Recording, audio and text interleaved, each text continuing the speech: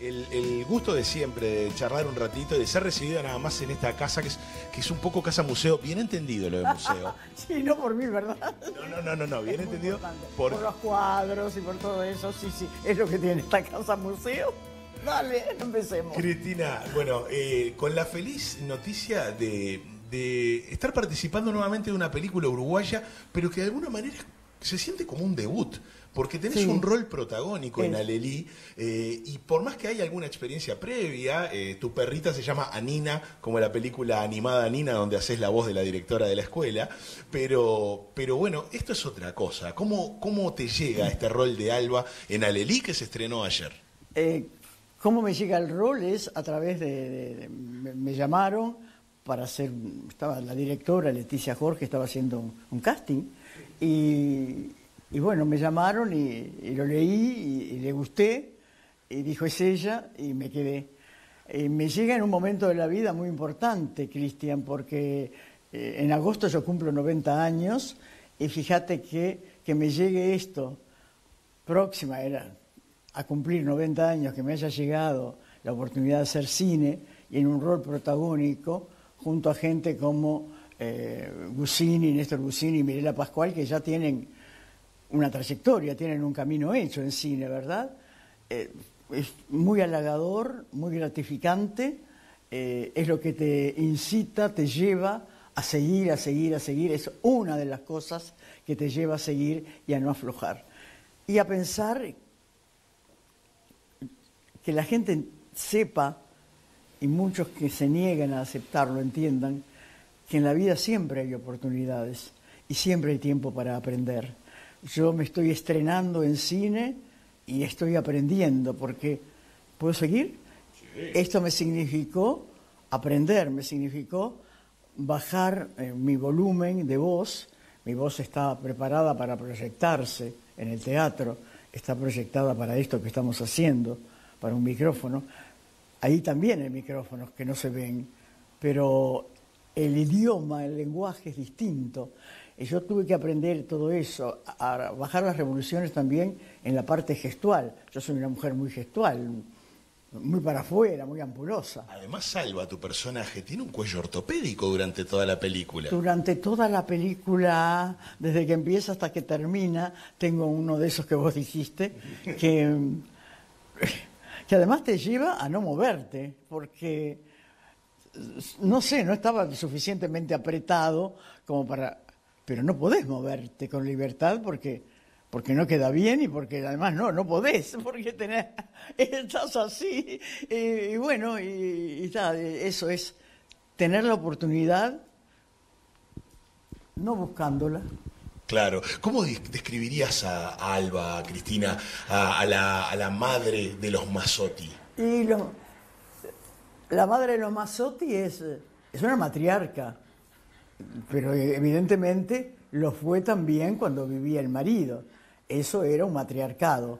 Fíjate, una madre, tres hijas, tres hijos, de los cuales dos son mujeres, más los nie- nietos y nietas que vivieron. E- Era un matriarcado esa casa, sin ninguna duda. Y, y se acentúa, claro, no estando el, el llamado jefe de familia, ¿no? Eh, yo me identifiqué en bastantes cosas con ella, y porque, porque yo también, en mi casa ha sido un matriarcado, sin ninguna duda, pero por distintas razones.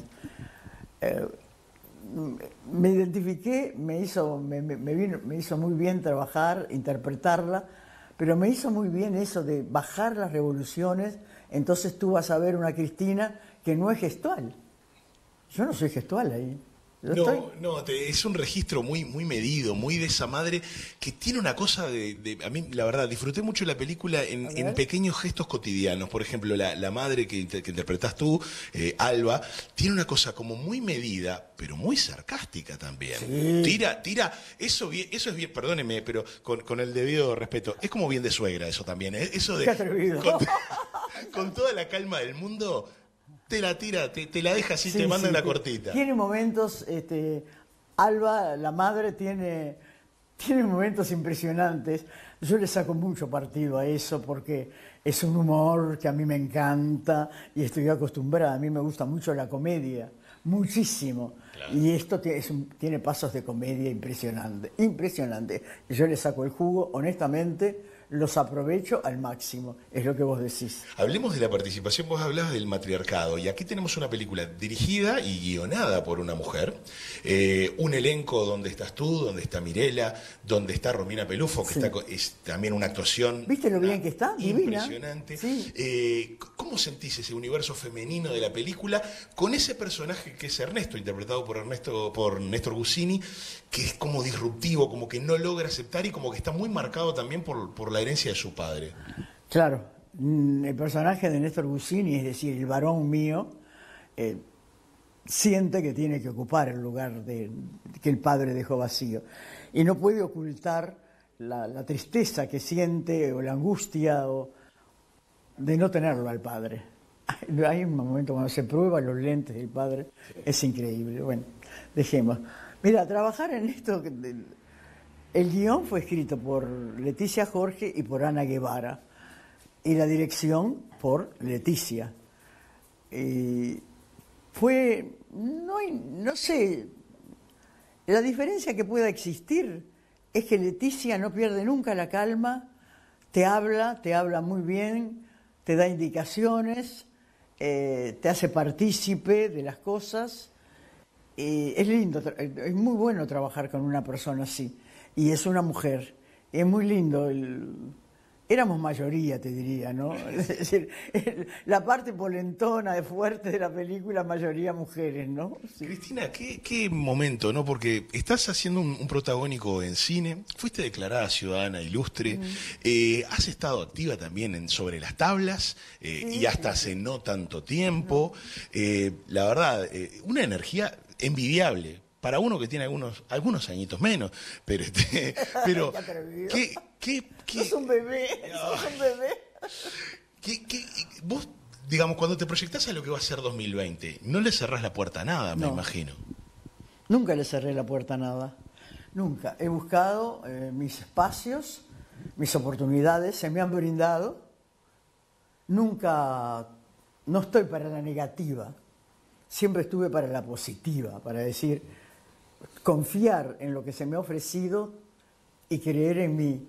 ¿Sabes, Cristian, que para mí es fundamental eso, creer en una? Porque si no creo en mí, no puedo creer en los demás. Entonces yo creo en mí, creo en mis posibilidades, creo en ti, creo en tus posibilidades, creo en la del compañero. Y todo esto que se está dando, eh, lo de Ciudadana Ilustre, la película, eh, son todas cosas que indudablemente tenían que darse. Y lo que dice, la Biblia creo que dice, ¿no? Que lo que tiene que ser será. Y es. Lo que tiene que ser va a ser. No te mates, no te enloquezcas pensando, no, no viene, no, no va a ser, sí. No, porque va a ser, si tiene que ser, va a ser. Y si no, a otra cosa mariposa. enfoquémonos para otra cosa. Y por fuera de, lo laboral, ¿cómo es un día de, Cristina Moral? Por ejemplo, con su tiempo libre, sus actividades. Ahora estás presentando una película, vas de arriba para abajo. Sí, sí, sí, Pero después, ¿qué, más te gusta hacer y Mira, voy al cine, voy al teatro. Eh, no soy de muchas amistades. Eh, he ido aprendiendo, es, me he vuelto selectiva.